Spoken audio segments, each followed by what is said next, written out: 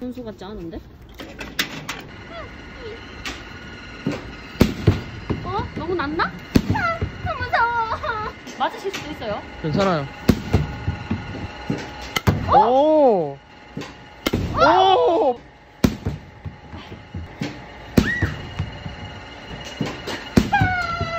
끝났어요? 네. 야구 쉬운 게 아니에요, 진짜. 이거 자기 몸에 대뜸을 맞아도 기뻐할 수 있을 정도의 그런 직업정신이 있어야 된다고, 맞죠?